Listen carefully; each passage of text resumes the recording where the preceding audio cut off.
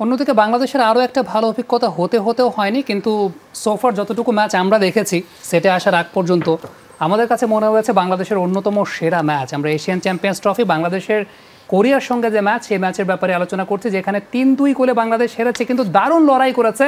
বিশ্বের অন্যতম পরাশক্তি কোরিয়া, তাদের এগেনস্টে তিন দুই গোলের হার, অন্তত ফোর্থ কোয়ার্টার পর্যন্ত সমানে সমান সমতা বজায় রাখা প্রথম গোলটা কিন্তু বাংলাদেশে দিয়েছিল মাওলানা ভাসানে হকি স্টেডিয়ামে এবং সেটা ম্যাচের অষ্টম মিনিটে একদম উৎসবে মেতে গিয়েছিল পুরো বাংলাদেশ, যেখানে সবুজের হিটে আরশাদের ডাইভিং ফ্লিকে লিড নিয়েছিল গোবিনাথ শিষ্যরা।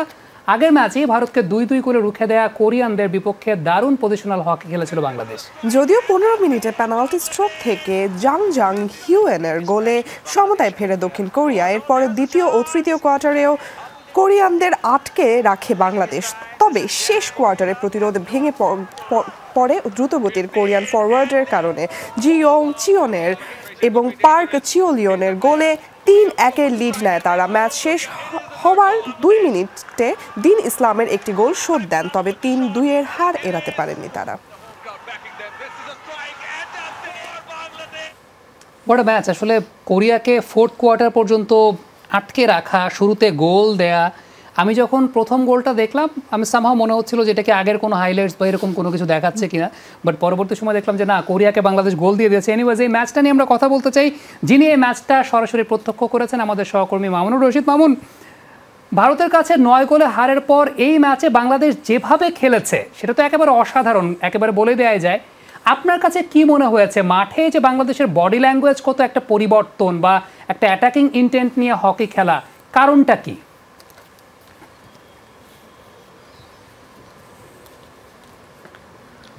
সামি আমি যদি আগে একটু বলে রাখি যে বাংলাদেশ কিন্তু এই দক্ষিণ কোরিয়ার সাথেই দুই হাজার আঠারো সালে সাত শূন্য গোলের বড় ব্যবধানে হারার অভিজ্ঞতা আছে বাংলাদেশ দলের। সেই সাথে বাংলাদেশ দল যখন চল্লিশ মাস পর ইন্টারন্যাশনাল হকি খেলতে নেমেছে, সেখানে প্রথম ম্যাচেই পাকিস্তানের ভারতের বিপক্ষে অনেক বড় ব্যবধানে হেরেছে। তো সেইখান থেকে যে ঘুরে দাঁড়ানোর একটা বিষয় বাংলাদেশ যে ঘুরে দাঁড়িয়েছে এগুলো আসলে মূলত আমরা প্লেয়ারদের সাথে কথা বলেছি। এখানে যারা কর্মকর্তা ছিলেন, তারা বলেছে যে যিনি কোচ আছেন বাংলাদেশের, তিনি মানে খেলোয়াড়দেরকে খুব ভালোভাবে উজ্জীবিত করেছেন এবং কোচের মন্ত্রেই আসলে বাংলাদেশ দল অনেকটা ঘুরে দাঁড়িয়েছে বলা যায়। বাংলাদেশের বড়িলিঙ্গের যদি বলেন, আমরা প্রথম ম্যাচে আমি এখানে দেখেছিলাম ভারতের বিপক্ষে। সেই ম্যাচে বাংলাদেশের বড়িলিগ খুবই ডাউন ছিল। সেখান থেকে বাংলাদেশ দল যেভাবে ঘুরে দাঁড়িয়েছে, দক্ষিণ কোরিয়া র্যাঙ্কিংয়ের ষোলোতম দল। বাংলাদেশের র্যাঙ্কিংটা আটত্রিশ আটত্রিশের কাছাকাছি এরকম একটা জায়গায়। তো এত বড় পার্থক্য বা দক্ষিণ কোরিয়া বাংলাদেশ থেকে এত এগিয়ে সেই দলের বিপক্ষে বাংলাদেশ প্রথম কোয়ার্টারের প্রথম গোল দিয়েছে এবং তিন কোয়ার্টার পর্যন্ত সমতায় কোরিয়াকে আটকে রাখা, এটা কিন্তু অনেক বড় একটা বিষয়। সেই সাথে বাংলাদেশ যখন ফোর্থ কোয়ার্টারে দক্ষিণ কোরিয়া এগিয়ে যায়, বাংলাদেশ কিন্তু আবারও কামব্যাক করেছিল। আটান্ন মিনিট একদম শেষ হওয়ার, ম্যাচ শেষ হওয়ার দুই মিনিট আগে গোল দিয়েছিল।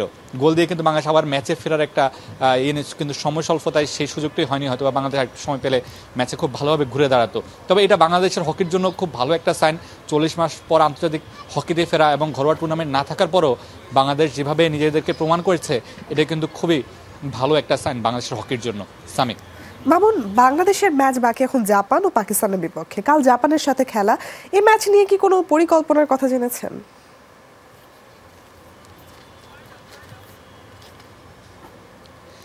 আমরা যেটা জানতে পেরেছি আসলে আমাদের সাথে ম্যাচ পরবর্তী আমাদের বাংলাদেশ দলের গোল গোলকিপার কথা বলেছেন। এই ম্যাচে কোরিয়া জিতলেও বাংলাদেশ দলের গোলকিপার কিন্তু ম্যান অফ দ্য ম্যাচ হয়েছেন, তাকে আমরা জিজ্ঞেস করেছিলাম যে আসলে পরের ম্যাচ নিয়ে আসলে পরিকল্পনা কি? তিনি আমাদেরকে জানিয়েছেন আসলে পরের ম্যাচ নিয়ে এখনই তারা কোনো পরিকল্পনা করেনি বা ম্যাচ টুর্নামেন্ট শুরু হওয়ার আগে প্রতিটা দল নিয়ে তারা পরিকল্পনা করেনি।